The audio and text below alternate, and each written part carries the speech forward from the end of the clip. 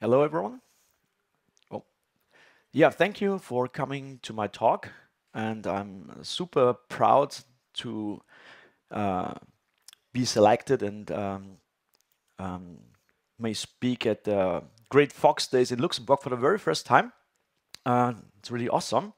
And this talk is all about Eclipse MicroStream, the ultra-fast Java Cloud Native persistence for microservices and serverless apps. And uh, first of all, I have to change the title a little bit, and it's because uh, MicroStream is now Eclipse Store, so it's now an Eclipse project, and so it's called Eclipse Store Ultra Fast Java Cloud Native um, Persistence for Microservices and Serverless Apps.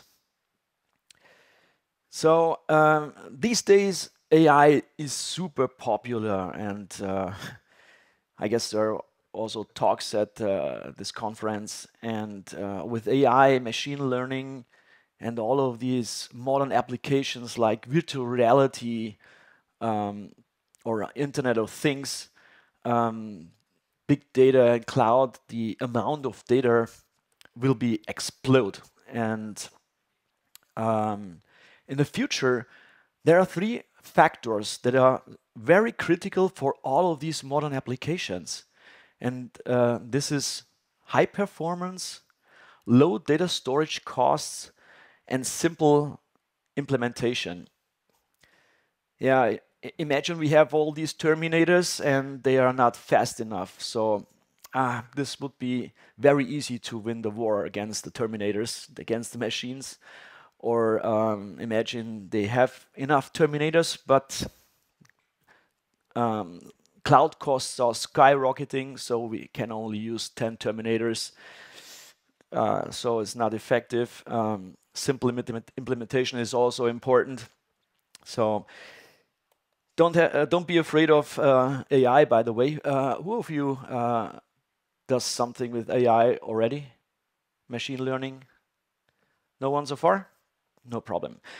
So first of all, I, I like to announce, um, as I mentioned already, uh, MicroStream is uh, now Eclipse Store, and MicroStream is uh, now divided into two projects, into um, Eclipse Serializer, because the serialization is uh, the core of the, the framework, and then we have Eclipse Store, which is a persistence layer, and uh, so both uh, projects are now available um, in release number one, milestone release number one, and uh, the final release uh, will be available in, in, some weeks. So the code is already on GitHub. Um, you can download it via Maven already. Uh, and with uh, Eclipse Store, you will be able to build the fastest applications um, that's possible with Java. And this is now possible with Eclipse Store and in combination with the great Java virtual machine and other Java frameworks you are used to use. This is a great, great news. And uh, Eclipse Store also becomes a standard, similar to the JPA standard, but more for serverless functions, microservices, and modern applications. About my background, my name is Markus. Um, I work for MicroStream, and I um, yeah work with Java more than 20 years now. So we started with a web design software called XPage. Um, then we developed um, a Java development environment based on Java Swing. So this was our first um, big project. Um, the goal was to build something like Visual Basic, but for Java to enable 4GL developers to migrate to Java very easily. Um, and we have a we had a great GUI builder. Everything was really simple to use. But um, the problem was as soon as the users wanted to store data, everything became very complex and, and, and slow through runtime and it's because of the complexity of data storage in Java. Then some years later, we migrated everything to um, Eclipse, built a new GUI builder based on Vaadin.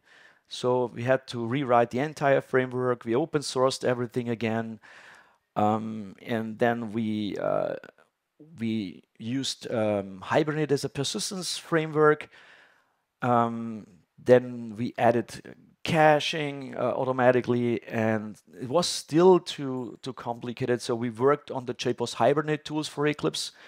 Uh, we, we tried to improve the JBoss Hibernate tools, uh, make it more simple and convenient to use, and faster through runtime. And then we recognized um, there is a technical issue, and we cannot fix it. So we can try to optimize it similar to the database vendors, so they, we can try to make it a little bit faster, maybe 5, 10%, but there is a core issue and we cannot fix it. Nobody can fix it. And I will talk a little bit about these uh, issues. Um, uh, it's it's very important for for this talk um, that we that we talk about uh, these technical issues, and and this lead us to um, Eclipse Store, which is a completely different approach of storing data and uh, it's more like a Java way. So this sounds a little bit strange, but um, we will see that is uh, you will be already familiar with this approach, and you can use it from scratch. That's uh, that's great because mostly when new technologies are coming up, yeah, you have to rethink everything, have to learn new new stuff. And with Eclipse Store, it's different because you know already everything. You just have to use it. All right, so um, we of course um, um, member of the Eclipse, Eclipse Foundation. Here is a, a screenshot of uh, Eclipse, um, this Eclipse development environment. You can still use it, of course, RapidClipse. Um, by the way, it's already existing, but not. Um, it's it's not part of the talk, just for the introduction. So database development with Java, why is this challenging? So of course we love Java and Java is a great language and um, we can do almost everything with Java. And uh, when I came to Java, my first stupid question was to Java developers, what actually is the difference between Java and JavaScript? Wow, that, that was really uh, tough, but because um, they said, hey, just a moment, you can stop. You cannot compare Java with JavaScript. It's completely different. Okay, what's what's the difference? Tell me. Yeah, it's object oriented and it's type safe. So this is very important for us, and we love this. This is super important for us. Okay, type safety, um, object oriented. Um, clean code, everything is uh, very important for us. And then when we worked on the JBoss, Hibernate tools, um, using JPQL as a query language or other query languages, then I saw these SQL strings. So as soon as we store data, we leave this object-oriented way, we leave the Java way, and it's because databases work fundamentally different. So then we use we use SQL strings. They are not type safe. Um, but of course, there are um, query languages existing which are type safe. Uh, for instance, the JPA criteria API. You can use it.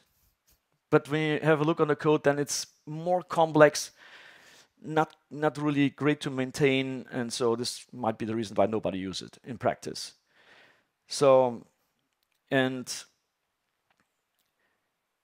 and also um, with uh, the as soon as we use the the specific database functions, then uh, it's not covered by JPA. It's not.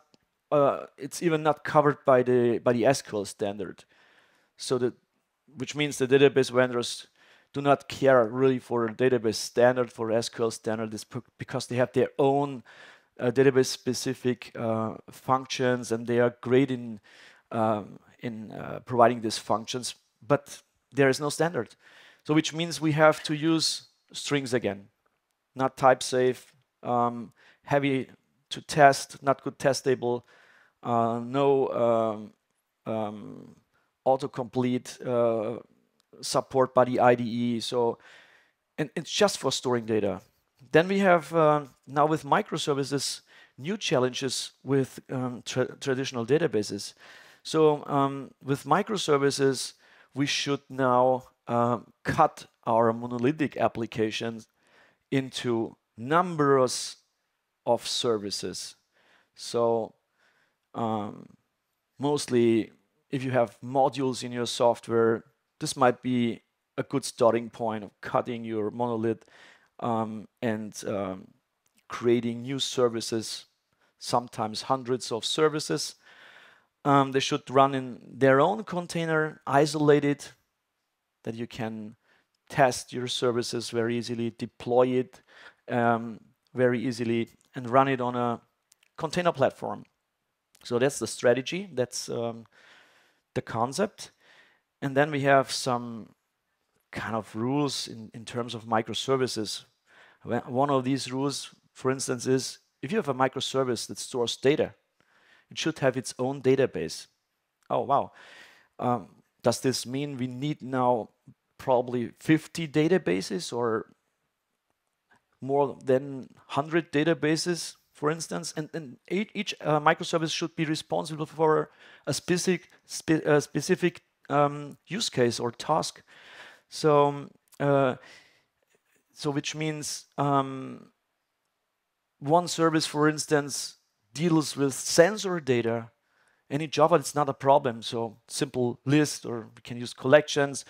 Um, but which kind of database should we use for sensor data? Uh, probably time series is good suit, suit uh, is very suited for um, sensor data. But please don't use a time series database for complex data. But we have obviously complex data in a big microservice application. Um, oh, there is a graph database. Graph databases are very suited for very complex data structure. So probably for your 10th or 20th uh, microservices, a graph database is suited. But if you need some mobile stuff or if you need um, if you have other use cases, please do not use graph database. Probably document database would be more suited.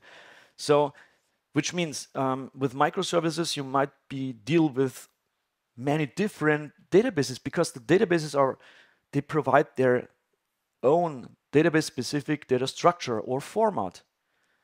So this is the reason why now they tell us, yeah, okay, you have to use multiple databases for multiple use cases in your microservice um, application. This is very effortful, of course. You need no, much more know-how. Um, and uh, this is challenging and then it is expensive of course and this uh, might be the reason why now the database vendors want to become multi-model so the new SQL databases, they try to be a multi-model data database for multi-model data structure. Then you can um, use only one database. Um, yeah, so it's your decision. There are a lot of databases on the market. Then there are um, many other technical questions. So this is what I what I meant um, initially. Uh, there are technical question, um, challenges. We were not able to fix it. I've never met someone in, in the software industry that was able to fix this. This is very interesting. Um, so it's because in Java we have, of course, object-oriented programming language. Everything is an object. We have um, sometimes complex um, object graphs in the memory. We use um, yeah, of course, everything is possible in Java, collections, something like that. Um, but as soon as we want to store our objects, and we, and we use a relational database, then this is not possible because storing Java objects as they are, storing in a relational database is not possible. Um, because the database is, works fundamentally different from Java. The model is completely incompatible. So, and we call this uh, impedance mismatches. Uh, the object model, for instance, much more granular than a relational model. Um, you can uh, you can search very easily uh, on an object graph. This is not possible in in a relational model. You need a query language. You need um, SQL for that. um, you have uh, in an object model, there is no foreign key constraints. Is not needed. So no synthetic uh, ID of an object. This is not needed. So you have uh, they are related um, with their object IDs. So and, and data types, we have only some data types, primitive types in Java. But um, for instance, PostgreSQL has 40 or even more um, data types. So if you import your table uh, information um, and you want to generate your Hibernate classes, then you get a lot of errors because um, the tooling is not able to map the data types to your Java types. So lots of uh, uh, mismatches here, and we have to solve this. Um, and of course, it is solved, but it is linked to more complexity and uh, further challenges. What's about NoSQL databases? With NoSQL databases, we have now um, databases that work different from the relational model. Um, they have their own um, data formats, and we have, for instance, column stores, uh, document-based uh, databases using JSON or XML. We have the graph databases. We have um, the old object-oriented databases time series. And now we have the vector databases for AI machine learning use cases. But they are all incompatible with the Java object model. So we have the same issues here as well. Um, so we cannot store our Java object model as it is persistently on disk. It's not possible. Of course, it is fixed, obviously. So because we are able to store data in Java, right? So what, what we need is in between a, a mapping or a data conversion. And um, uh, for relational databases, of course, we have object relational mapping frameworks like Hibernate, and the standard is JPA, uh, Jakarta Persistence API. Um, the problem with mapping or data conversion is um, you will have a latency. So you have this mapping, and um, when you get data back from a database, you will not, not get back uh, Java objects. So which means um, the Java objects have to be generated through every single read and write. And this leads to, um, to latencies. It will double your query time mostly. And so this is super expensive. Um, and we can can't uh, we can solve this problem because the models are incompatible. Impedance mismatch, you can read about this in on Wikipedia even. It's really um, easy to understand article. Um, through runtime, we have latencies, and when we used Hibernate for our Java IDE, then um, our users uh, told us, uh, I'm sorry, but this is not usable for our use cases. It's too slow. Well, we were in trouble, so what should we do? Um, of course, let's add a cache. So caching will accelerate our database queries because um, we don't need a database query anymore uh, or query the database because, hey, the result set is already in the cache. So we can read data directly from the cache. And we expected, wow, now this will be game changer. This will be fast. But it was not.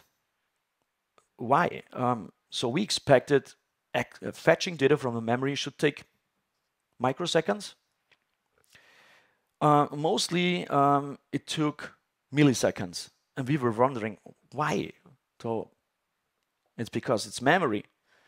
Well, um, Hibernate second level cache, for, for instance, um, serializes the objects in the cache. And uh, when you read data from the cache, it has to be deserialized. So, and serialization is slow. Um, and so we have here latency as well. So it was faster. So yeah, it was uh, really much faster, but not as fast as we expected. And then we have more complexity because now we have a caching layer. And then we have uh, challenges with cache configuration. So there are a lot of different cache strategies. Wow, this is really challenging for people who are not really familiar with cache configurations. So if you make some mistakes, your application will be super slow, slower than before. Um, who of you um, is developing distributed applications? Okay, so many applications, um, we see that the, the application nodes are distributed, so the load is distributed through multiple uh, instances. And when you use microservice or when you have a microservice architecture, then your microservice should be um, small, should run on a small machine instance. But if the load, the load goes up, it should be scalable horizontally. And if, as soon as it scales horizontally, that's great because we in the cloud, we should scale horizontally. But the complexity will explode because distributed systems are very complex. So for instance, um, if we change um, an object in one of our microservice and we store data in a database, then it's great because now the node, the, the microservice node and the database are in sync. And the cache um, is in sync with the database. But the problem is all the other services are not in sync with the database. So we have a, a so we have a um, data consistency issue here. But um, of course, we are developers. This is not a problem for us. There are different cache strategies. So just put your cache between your services and the database. We're in the cloud, um, and just one node is single point of failure. So you should avoid this. We need another cache. Uh, we need another cluster. So um, we need a distributed cache. Who of you uses distributed caches? No one? Okay. So this is common architecture for big applications. Um, if you have more load on, on your application, if you have more load on your database, uh, then probably uh, one database node is not enough. And by the way, we we are building microservices, right? And microservices means no monolithic application anymore. So smaller pieces, horizontally scalable. But what, what about the database server? It looks like, for me, it looks like a big monolith. So they, it cannot scale, it cannot cut the database into 100 uh, pieces and scale it horizontally. It's one monolithic application in our microservice infrastructure. So probably this is not really a great fit, but we are used to use it, and so we have to use databases. There is no um, alternative. So if the load goes up, of course, we can scale the database also because, hey, we can uh, create a database cluster. We can start multiple machine nodes and run the database on multiple machines. Then we have scaling monolithic um, application in, in a storage layer. But this is absolutely common, um, of course. Um, when I meet customers they are mostly absolutely convinced of their database and we were also working with databases of course for for 20 years and uh, but i was wondering um, obviously your database is still not fast enough uh, because you use a, a, searching cluster who of you uses a searching cluster like elasticsearch Okay, no one. So we can see this very often. It's because they say, yeah, our database is not fast enough. Um, so we we need faster uh, uh, response time. So this is the reason why we use a, um, a searching server. Then we have a third, uh, a, a, fourth um, cluster in our infrastructure, and the complexity is exploding. And th this really yeah, crazy, kind of like crazy, but it is common. And this might be the reason why the cloud costs are exploding. Of course, you run multiple cluster um, layers for just for storing data and managing data in your application. And um, here is an example. So if you uh, if you uh, if you would need 250 gigabyte um, database, um, and we would cho uh, choose, for instance, uh, PostgreSQL uh, as as a service at AWS, it costs depending on a machine size, right, um, eight thousand eight hundred dollar annually. So but it's only one database node. So we should be uh, high available, we should be scalable. So probably we need some more uh, replicas. If we uh, use two or three replicas, our price will, will double or triple. Um, if we need, let's say, six um, database replicas, then um, the price will skyrocket. So then we pay around $50,000 annually just for storing data. The good news is um, the cloud uh, providers, they provide object data storages, so binary data storage. Uh, for example, AWS provides S3.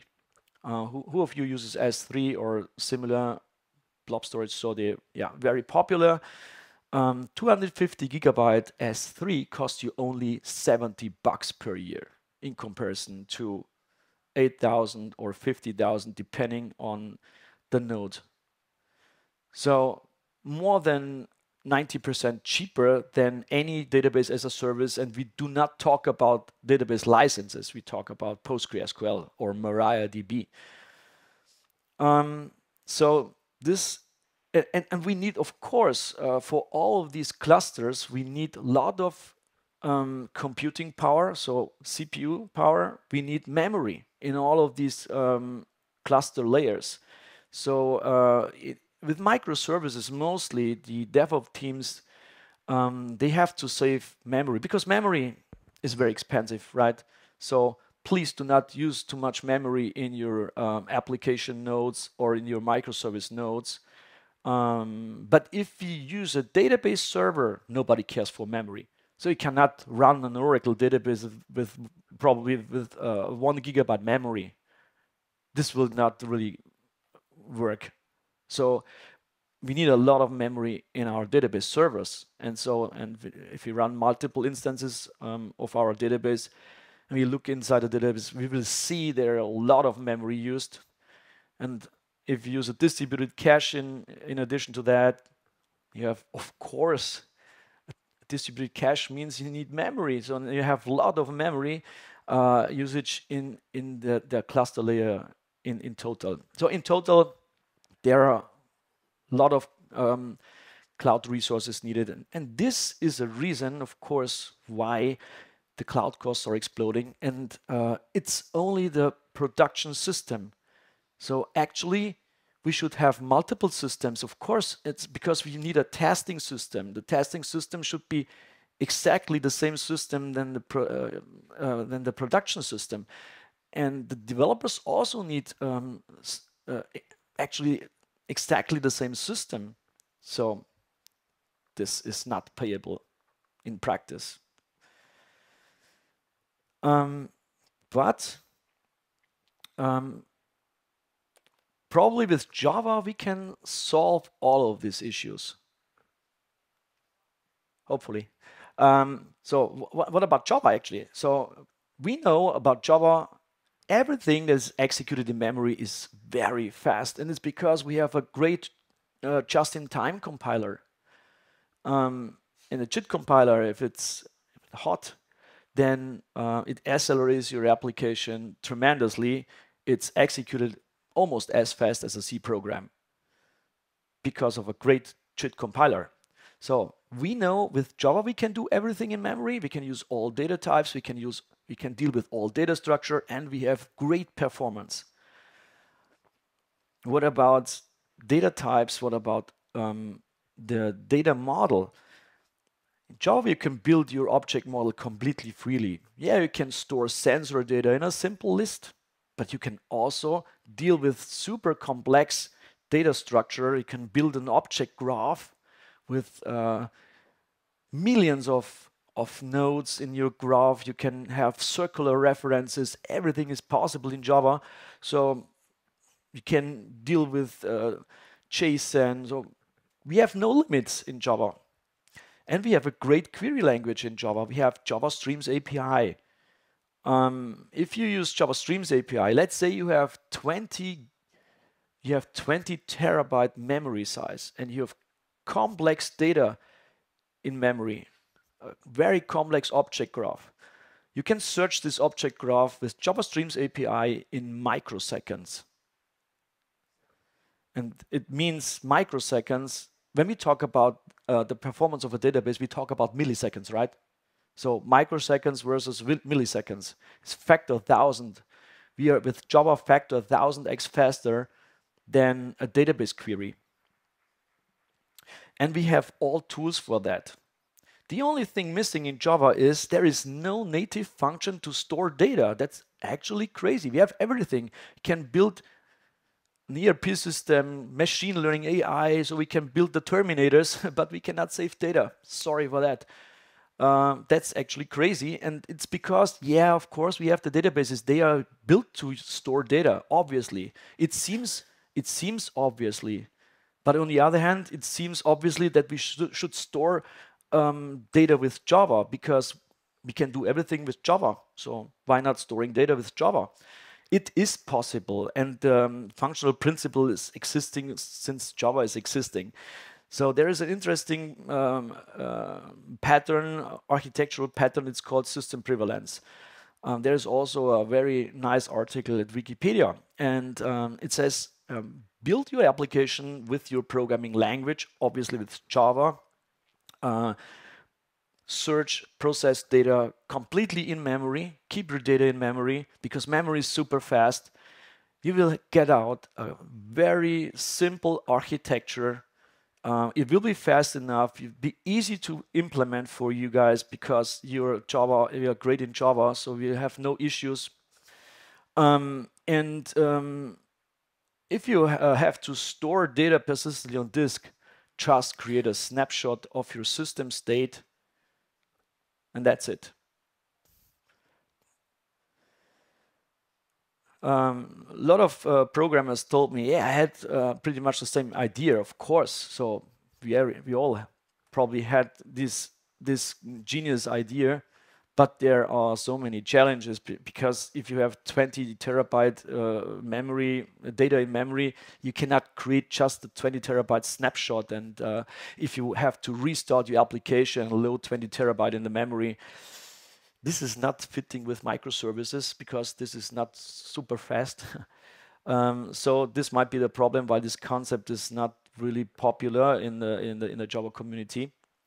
Um, but it is used and um, mostly by what I've seen, mostly by banks, by banking companies, uh, fintech companies, and gaming companies, because they need um, um, in-memory computing. They need um, the fastest possible performance, um, and mostly they build their own system that is able to deal with all this um, complexity when you're not able to store the entire system state so um, and if you change your classes so there are so many uh, further challenges. Um, the expectation was when this article was written the expectation was hey come on in 20 years um, so memory will be so cheap. Don't have con concerns about big memory machines. Um, but we all know memory is still very expensive. So, um, but with Eclipse Store, we have now solved all of these issues, or let's say almost all of these issues, because with software there are always some issues.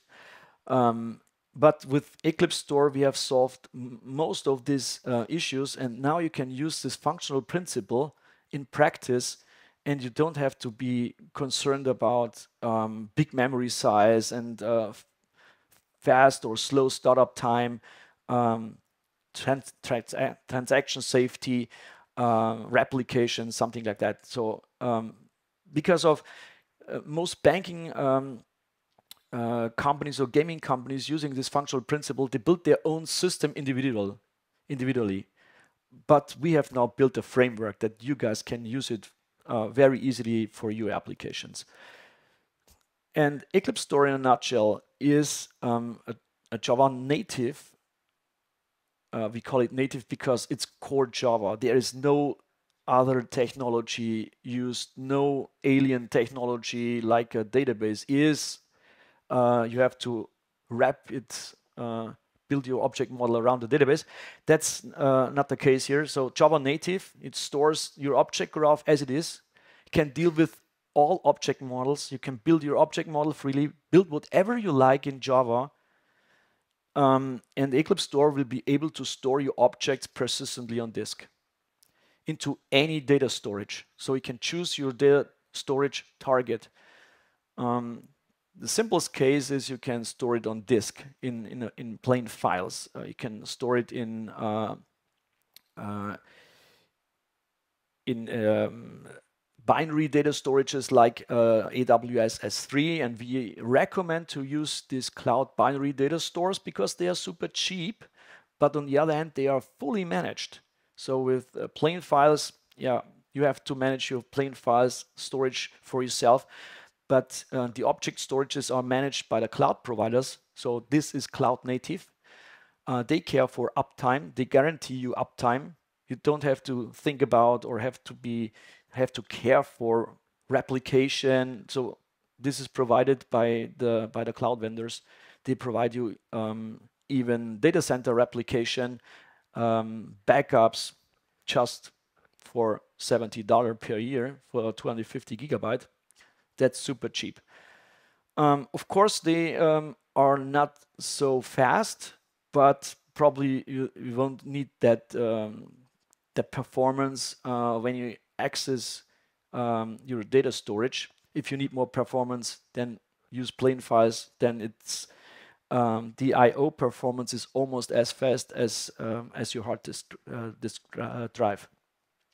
Vice versa, the engine allows you to load um, any object reference and allows you to load um, also individual subgraphs into the memory and restore the object graph in memory. But you, you, you don't have to load the entire system state and recreate it in the memory. You can only load data that are needed immediately by using lazy loading. So you can have a data storage that is, you have around, let's say 500 gigabyte database and you only have one gigabyte memory. This concept will work because you have lazy loading, just load data in, into memory you really need um, and keep the hot data in memory the great thing is you don't have to care for um, data types, data structure. You don't need uh, to implement serializable. there are no annotations. You can deal with POJOs. Um, so this is super easy to implement. And so it combines high speed of the JVM with um, with the data storages provided by the cloud providers, um, they are fully managed and they are cheap. Um, and everything is also transaction safe. Um, and everything else is uh, covered by the framework. It is open source. It is uh, production proven already. So it uh, was developed. So it started 10 years ago, and uh, it's um, uh, already open source under EPL license, um, and now uh, it's available on GitHub um, and you can download download it via Maven. Um, Eclipse Store is also part of uh, modern microservice frameworks. It's part of Helidon. So if you use Helidon as a, a very popular microservice framework for writing microservices in Java, um, you get um, Eclipse Store out of the box because it's a part of this framework. It's also a part of Micronaut. So if you use Micronaut, you have um, Eclipse Store um, as a part of Micronaut. Um, by the way, it's it's still MicroStream, but um, we will uh, renew the integrations, and in some weeks we will get uh, new versions of these integrations, and then this is the reason why sometimes I talk about MicroStream and sometimes I talk about Eclipse Store um, because we have no final release yet. Um, just to avoid the, the confusion. So it's part of uh, modern microservice frameworks that are that are built for uh, writing microservices. And we have also um, integrations for Quarkus, for Spring Boot, um, Payara Micro. So you can use it with um, all popular microservice frameworks, of course. And it runs also on GraalVM native images. Um, so how, how does it work? So let's have a, a, look inside the database. So here is our uh, standard architecture with um, yeah, an app or microservice. Uh, we have uh, data conversion, or we have um, Hibernate in between and the local cache. And when we have a look, uh, look inside the database, this is very interesting because mostly we just send a, a query to the database and database cares for the rest. But what actually is inside the database? Um, of course, um, database vendors provide you uh, sometimes even a query language of course, a query language provides us um, a programming language sometimes, so PL/SQL, for instance.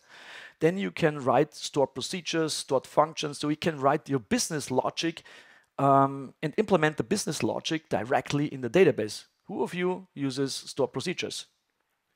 Okay.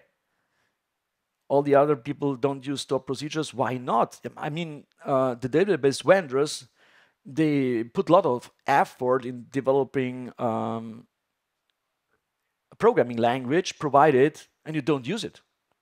Why? And it's because in Java, we don't like procedures, right? So we like object-oriented programming. So we can do it better with Java. So we are better than the data the databases. Ah, okay, that's interesting. Um, and of course, um, we have a database management system because it cares for everything oh, that's cool. So I can do what I what I want with the database. Um, actually, no. Um, you can do that because you you can uh, you can use uh, locking, but I guess in practice nobody uses uh, pessimistic locking anymore. So in Java we care for logging and locking. Um, so and we care for validation. Everything is covered by the business logic actually in Java. So because we don't use stored procedures and stored functions. Mm, okay, so probably a database management system is not mandatory for Java developers. Probably. Uh, because we also can care for concurrency, because we have everything in Java. Um, memory, ah, good, good hint. There is a lot of memory in the database. Um, and of course, storage. So, but with Eclipse Store, we replace Hibernate. We replace um, we replace uh, data conversion if you use a NoSQL database. We keep data in memory, the hot data in memory, because we keep our object. Um, so we have our heap. This is all. It is at the same time our cache, which means we don't need a local cache anymore. We can skip it because of we have data in memory, we can query data in memory with Java Streams API. We don't need memory on a database anymore. And we don't need a database management system anymore. We have concurrency uh, handling in Java. We can uh, cover for locking and logging and everything in Java. The only thing we really need is storage. And we use a binary storage. This is what we need and with Eclipse Store. And the end result is a very slim architecture, very easy to use, and it is very fast. And I'd like to show you um, performance demo.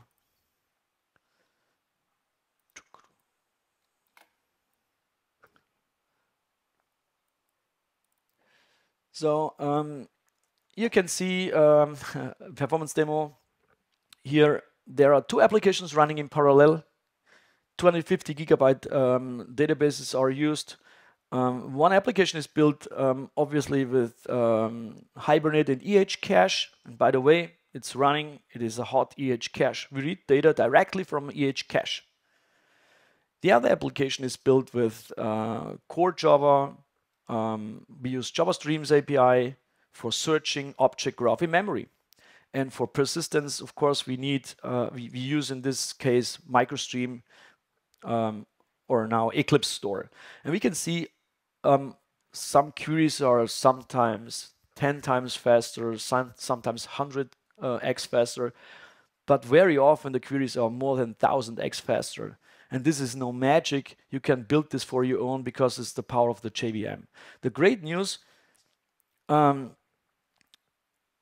the um, the the performance will increase as soon as you use um, the latest Java version because the older Java versions um, they were slower. Now the latest Java versions are much faster. So if you update the Java version, uh, your database application will be will become faster, sometimes 20, 30, 50% faster just by updating the Java versions.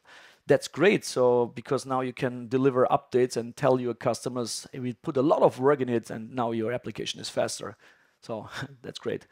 Um, and also with new Java concept like virtual, virtual threads, this will be great for us because this will accelerate our applications by doing nothing. You get this um, performance increasings for free by the Java ecosystem. That's really cool.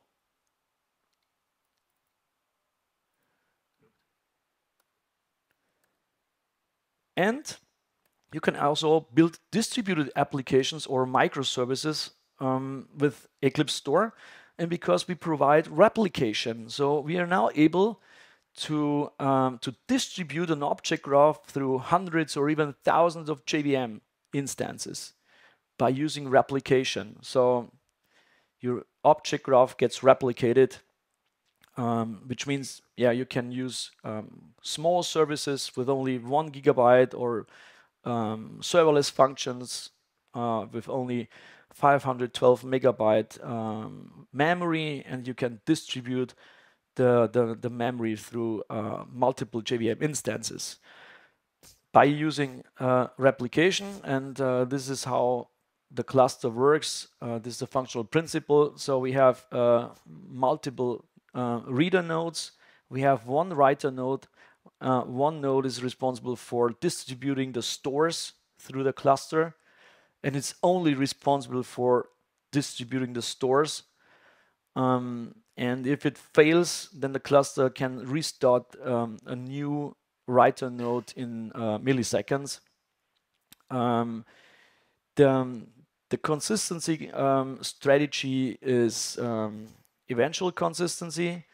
So it's um, it's built for reading use cases so that you yeah have uh, tremendous loads. You can create tremendous loads or handle tremendous loads um, with this um, cluster strategy.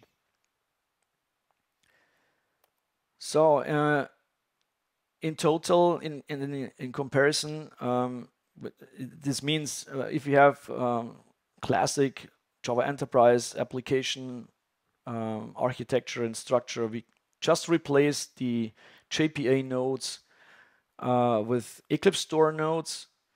Um, they are much more powerful. We use um, uh, binary data storage like S3, so we don't need a database cluster anymore. So we can skip the whole database cluster. We save a lot of money, a lot of machine uh, power, a lot of computing power.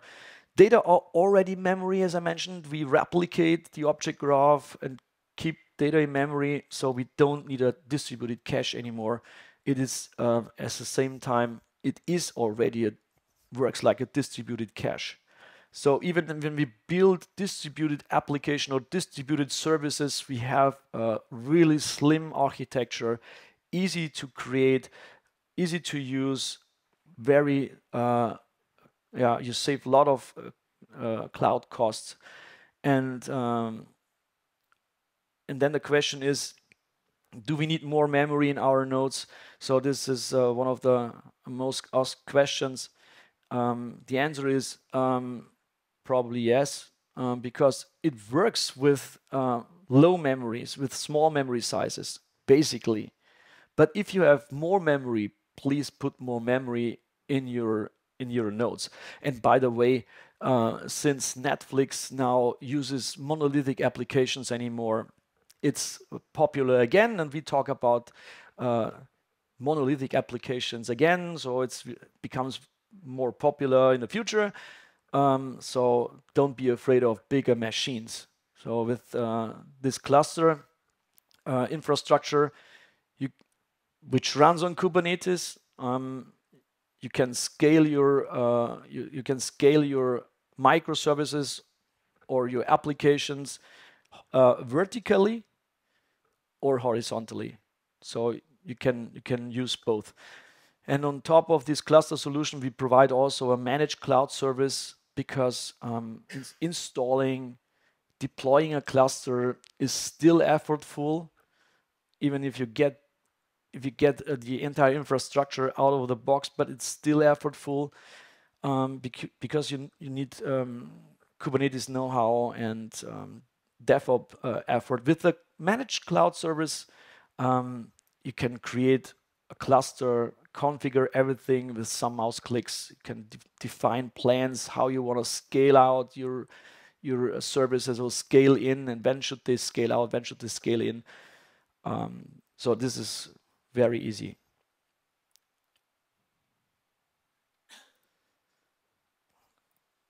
So and you also can uh, use this concept if you have uh, serverless functions, stateless um, services, then you can run your stateless services or services written in different programming languages. This is a, a Java uh, a, a conference. I guess .NET is very popular here or Python. Uh, obviously not. So if you like or your colleagues can write the services in C Sharp and uh, get access to the Eclipse Store cluster if they want. You can choose your storage target, as I mentioned. There are um, all major cloud binary blob stores are supported and also databases are supported. So uh, it's because databases can store binary data. So you can also use uh, MySQL or PostgreSQL uh, for persisting um, the binary data. And, and by the way, uh, Eclipse Store uses um, the Eclipse serializer for serializing and, uh, and, and, the objects in, a, in this binary format. Um, and the, the, format, of course, is open source um, because it's an Eclipse project. All right, um, it, it, runs wherever Java runs. The only requirement is Java version 8. Um, it runs on GraalVM native images. You can use it with all JVM languages, and it runs also on Android. Who of you uh, develops uh, Android apps? No one. Okay. Um, what a pity. So, yeah, but um, if you have colleagues, uh, so sometimes you have projects where the customer needs some mobile apps, and so probably and the backend is written in Java. So we have these cases, and then you can tell your colleagues, yeah, this framework is existing and runs on Android as well. It's, it's exactly the same framework. Um, and it can sync your data very easily to the backend you develop. So very easy to use. Um, here is a big picture. Um, so it becomes a standard. Um, the name Eclipse Persistence API is not confirmed already, so I have to be careful. But uh, Eclipse Store is confirmed. The version is available. So um, already it becomes then the reference implementation. It's pretty much the same with Jakarta Persistence API and EclipseLink as a uh, reference implementation. And on top of that, you get the cluster.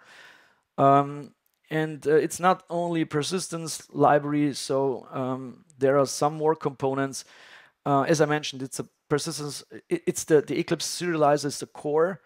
Um, then it's a persistence framework for the JVM, persistence framework for Android, on top of that, we provide functions like lazy um, leg legacy type mapping. So it's because you change, you, will change your classes all the time. So if you have class changes, don't worry about schema changes. So schema changes is always challenging with databases. With this concept, this is not. Uh, it's very easy. Just change your classes um, and uh, start your application. And if Micro, uh, or Eclipse Store loads data into the memory, it compares the object with your class. If there are some changes, then it will save uh, uh will um, will um, fix this automatically with uh, with a heuristic.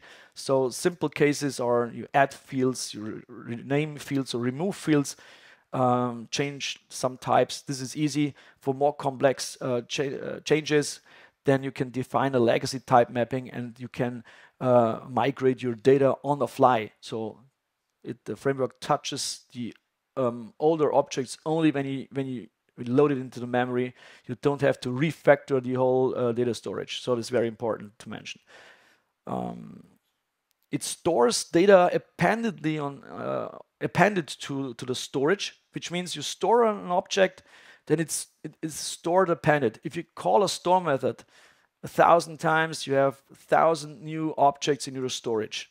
So and it's the same when we change objects, we store it then it stores the new object appended to the file storage. Um, so you can then keep your uh, the versions, or you can let the garbage collector of the engine remove the older objects from the storage. So it's your decision. You can configure that. Database connectors, a REST interface. With REST, you get access to the storage data uh, to the data in your storage. CSV import export, so data, data migration is super easy, no problem. Um, we have also uh, CSV export import for uh, machine learning uh, data. Um, backups and converters. So this, this everything is um, provided by Eclipse Store and um, you get all of this out of the box. All right. Um, you can check this out. Um, as I mentioned, uh, it's available on GitHub. Download via Maven Central. It's um, an open source project, so you're invited to contribute. Um, MicroStream is the company behind um, this project, um, but we, we love to invite you to join the project as contributors. Um, so if you like it, download it um, and build the fastest applications on the planet. Uh, machine learning and AI is coming up in Java also, and we have the best programming language for that. And in combination with the fast JVM and the possibility to build distributed applications with uh, with this ecosystem, this is awesome. And then we will overtake all the other guys from coming from Python or other programming languages soon. Thank you for joining my talk. If you have any questions, uh, feel free. We have uh, some minutes left. No questions. Thank you. Thank you so much. It was a pleasure for me. Thanks.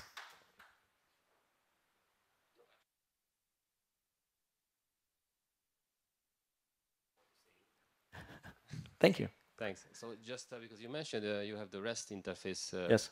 available, are you or do not thinking of using a specific kind of uh, interface or protocol just being more faster than just uh, any other available, right? Like HTTP or, or something.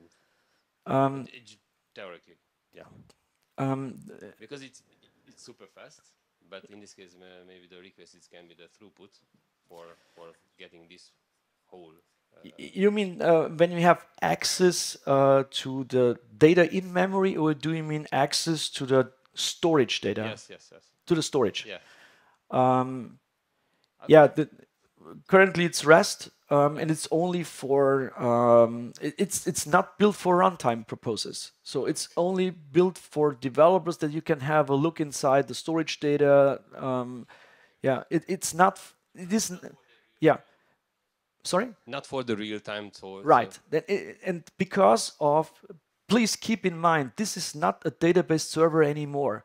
So you cannot look inside the storage and you see the data and you, you have the idea, ah, now I can query and search in this, inside the store. I can change some data. This is, please do not change the storage data by your own. You will destroy the entire database and application. This is only for developers. And through runtime, the database is now in memory. So the object graph in memory is your database and get third-party applications access by providing interfaces. Uh, you can use REST, you can GraphQL, build an interface. Don't let third-party applications have access to the data storage. Then this is always a problem with uh, database servers. This is possible, but this is where the challenges are. So mostly. Yeah. Thank, thank, thanks, thanks for that. Thank you. Thank you so much. Have a great day at Voxxed Days. Thanks.